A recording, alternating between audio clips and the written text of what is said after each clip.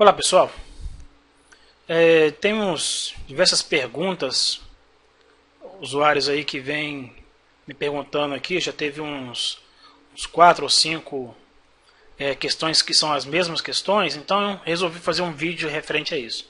Quando a mesa gráfica dá esse aviso aqui, ó. Então, o drive da mesa gráfica não está sendo executado. Eu dou OK, normal. Clico aqui, é, dispositivos e impressora. Clico com o direito, botão direito e é utilitário aqui e remover todas as preferências. Então todas as preferências que tinha vai ser removida. Só aguardar um pouco, pronto.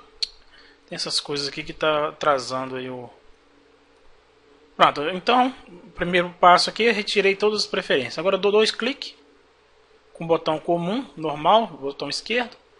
Vou em touch, vou desabilitar, porque eu gosto. Mas aí faz seu gosto, ok? Eu vou apertar no botão da minha mesa e vou colocar ela para tamanho do pincel. É as duas configurações que eu gosto de colocar na mesa. Pronto. Depois disso, ou seja, abri o computador, fiz, uh, dei ok aqui, tudo certo, é que eu abro o Photoshop ou outro programa qualquer.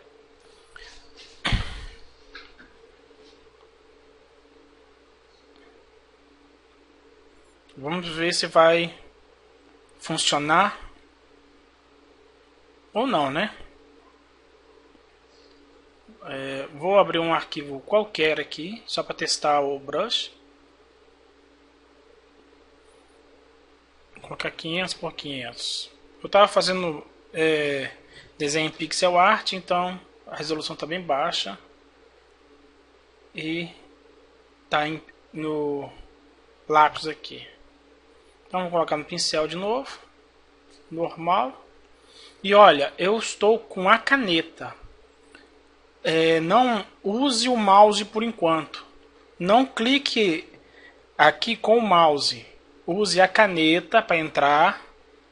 Por quê? Porque às vezes pode dar um conflito que você, usando o mouse, o sistema de pressão aqui ele não ativa.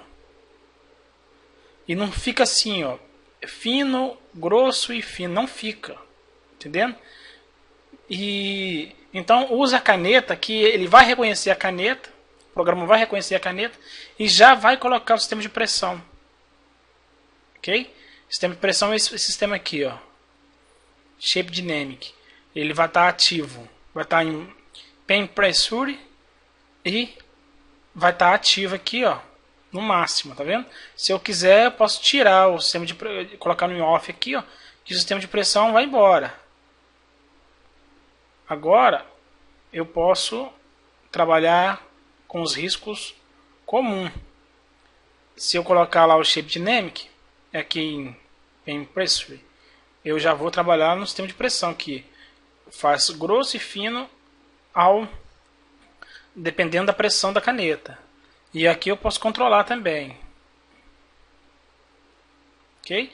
Então, essa, essa dúvida aí que o pessoal tem, ah, minha, minha mesa gráfica não está funcionando, deu um erro. Às vezes, você está riscando assim, ela dá um, um errinho aí não vai, o risco da delay né? Você risca só depois que o risco vai.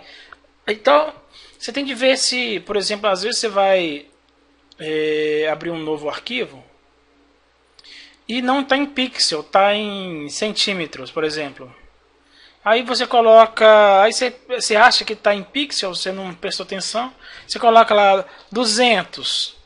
Você está colocando em 200 centímetros, vai ficar enorme, cara, vai ficar enorme. Aí não tem como, aí vai vai dar um, um vai dar delay mesmo se você não tiver um bom computador, porque vai pesar, vai ficar um arquivo pesado, entendendo? Ainda mais quando você vai complicando ele à medida que você vai trabalhando, vai ficar pesado. Então, é, aqui também tem que tomar cuidado aqui, ó, 16 bits, né? Se você colocar em 32 bits vai dar, pode dar conflito, mas depende do seu computador também. RGB, essas configurações você tem que dar uma olhada para não, não errar. Mas ainda está tendo problema, você pode vir aqui em Edit, configurações, preferências aqui, vai, por exemplo, em perform, Performance, não sei falar essas porcaria em inglês. Cadê? Oh, ah, tá, tá lendo ainda. Muita coisa aberta no meu aqui. Aqui em Performance, você pode ampliar aqui a, a memória RAM. Só ampliou, dá OK e ele vai é porque a minha já tá já tá boa aqui, tá 85% da memória. Então ela vai é, vai usar mais memória RAM do seu computador. Então vai melhorar a performance. Aí você pode é, vir sair do Photoshop e reiniciar ele. Não vou salvar. Não vou salvar. E aí que, que a memória vai estar tá tranquilinha e vai estar tá tudo de boa, tá bom? Então a dica é essa aí. Então um abraço a todos e dê o like, por favor, e, e compartilhe aí com o pessoal aí. Patrocine nosso canal, por favor.